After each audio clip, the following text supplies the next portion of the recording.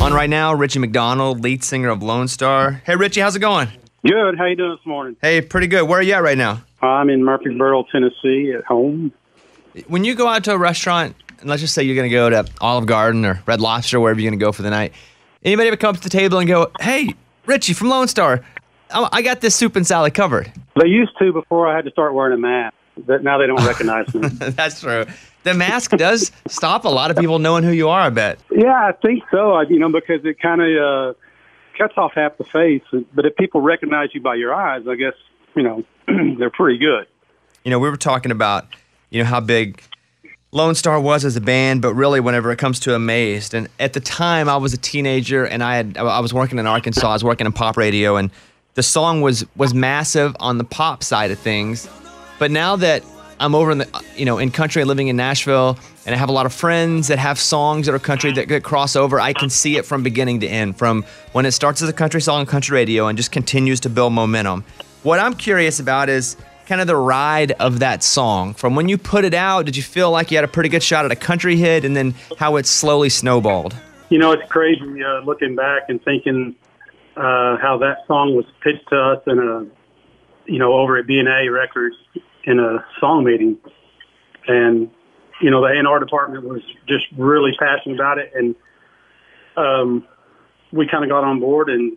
And no, we never had any idea. Once we recorded it, we thought it was a very passionate song, a song that you know people could relate to, a, a love song.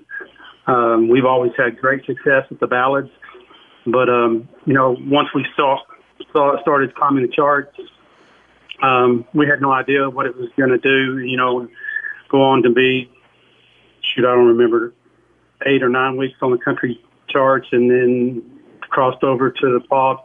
You know, at one point, uh, there were so many different mixes of, of Amaze, Bobby. There were uh, contemporary, hot contemporary. I mean, I was driving home from Nashville one day, and I kid you not, heard a dance mix. You know, the four, the four. Every little thing that you do, I'm so in love. And that, kick drum was just beating 90s nothing. I'm thinking, well, I wonder where that came from. But, you know, it took on a life of its own. It really did. when that song was just rocking and you know because i was reading a story about how it was obviously the number one country song forever but it was the number one song on the billboard hot 100 which was the first country song to do that since islands in the streams in 1983 like whenever it's at the top of the pop chart and you have not only a, a bigger audience in the states but i have to figure that the international audience was starting to grow too right Oh, absolutely, without a doubt. It opened up a lot of doors for us, and uh, we went to Europe, and you know, a couple of times on just on the basically the strength of Amazed. Uh, just crazy to think a song could, you know, could be so powerful. You know, not just here, but but abroad. when you're doing this song at uh, live do you think about every show someone would propose during that song Well, you know, we over the years we've had so many, so many fans, and just come up to us before the show, ask if they can come on stage and, uh, you know, propose. Um, yeah, so it's happened. It's happened a lot. So I, I would imagine, you know, probably every show there's somebody out there that that loves that song, and it's you know they pick their you know perfect timing to propose to their loved one. I gotta imagine there's a bunch of babies that are probably like, you know, 22, 23 years old now that were conceived uh, amazed.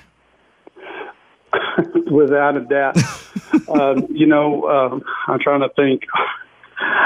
You know, I took a, a brief uh, hiatus from Lonestar a few years, and while I was out, the guys were out doing the Price is Right, and uh, Drew Carey he said that um, he called Amaze one of the love making songs that he'd ever heard, and um, that, yeah, that was on that was on The Price is Right, but that was 20 years ago.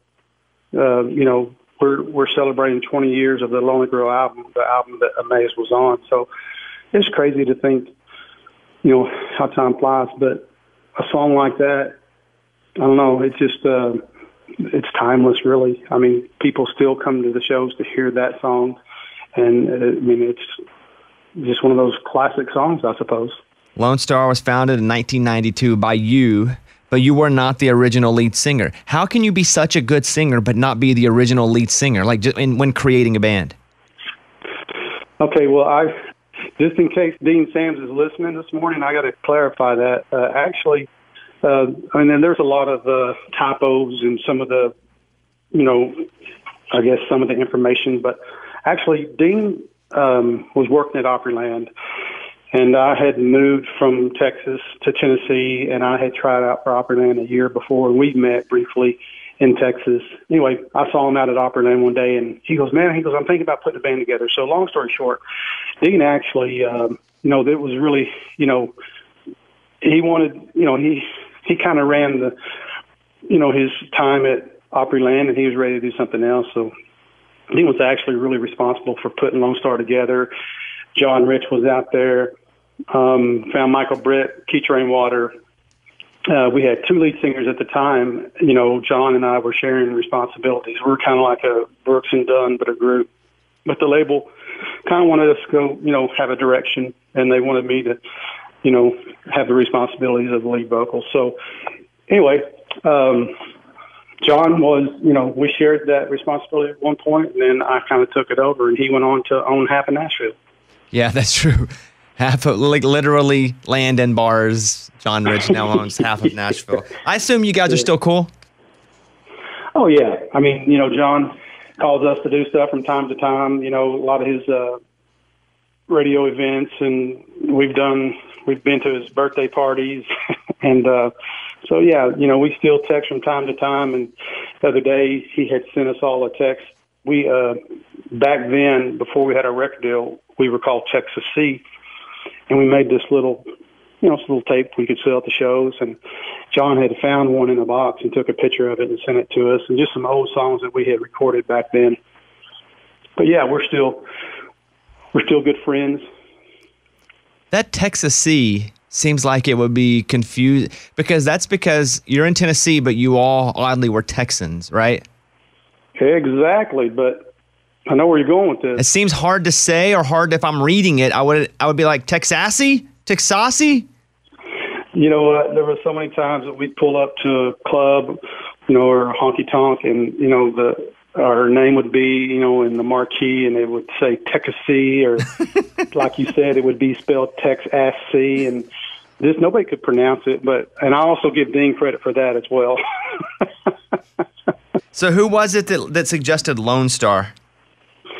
Well, we were actually in the studio recording our first album with Don Cook and Wally Wilson and um, you know, word gets out that bands are in the studio looking for songs, and Kostas had um, called Don Cook one morning and said, "Hey." He goes, I hear that um, that you know the label's asking the band to change their name, and he goes, they're all from Texas. He goes, what about Lonestar?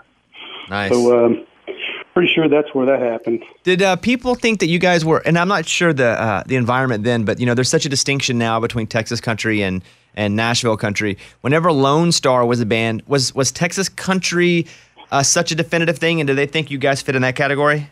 You know what? I don't think. I really don't think it was. Not when we started. Not like it is now. You know, I just I spent a week back in Texas.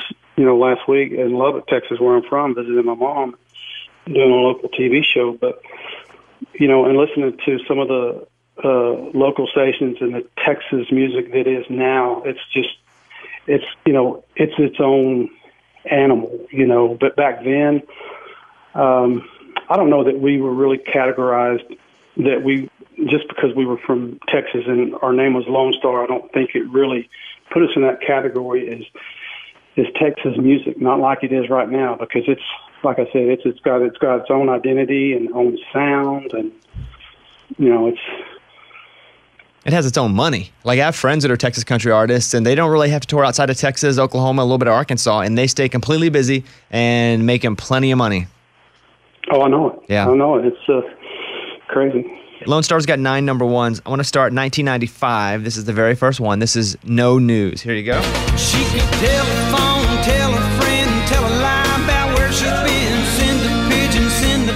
What does this song make you think about, Richie? Oh my gosh. Uh, I think I remember the first time uh, we did that video out in, I want to say it was Pegram out in that area, and um, had that old that old timey school bus, and um, you know, trying just trying to find extras for the for the video. There was a girl that did the girl in that video at the time. She was 16 years old, and you know, she was the one that was on the bus, just shaking it and dancing, and so that was 95. So she's uh, 31 now. It's crazy. Wow. Okay, let's go. Let's see. Let me roll through some of these. Come Crying to Me, 1997. When you're tired of it all and tears need to fall. It's a jam. 1999, obviously Amazed. That's number three.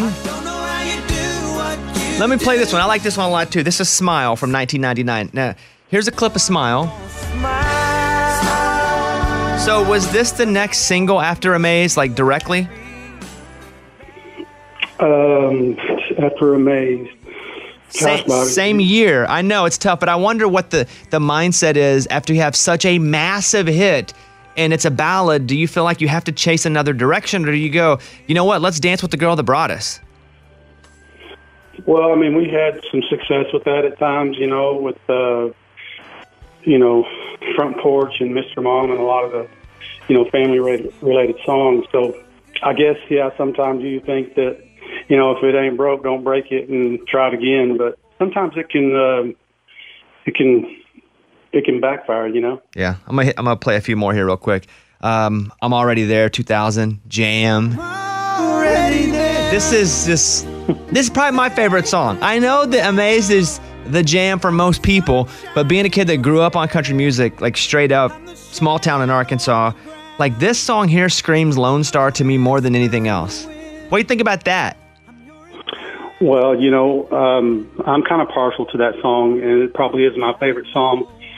You know, as a songwriter and a performer, just because um, what it meant to my family, how it happened with my four-year-old saying "Daddy, when you coming home?" over the phone, and inspiring that song, and then for it to go on, and what it has meant to the men and women in our military. You know, they adopted it back in 2001.